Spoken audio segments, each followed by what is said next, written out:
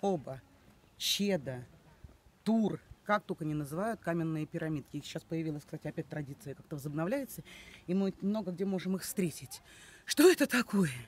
Значит, э, в разных народах по-разному называют эти изваяния человеческих рук. И они ну, несут тоже разные какие-то такие информации. Где-то это просто указатель дороги, где-то это собирается, особенно, знаете, когда японцы такие собирают красивые на ребрах, и они держат баланс. Это такое гармония, покой и так далее. Но вообще на горах, там в Гималаях это строили как почитание богам, богам духам, такие алтарики.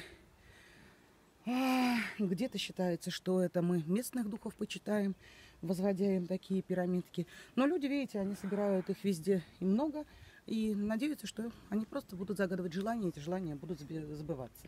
А мне очень нравится а, в Норвегии Считается, что вот такие пирамидки это маленькие тролли. И как бы мы, создавая такую пирамидку, даем троллю жизнь.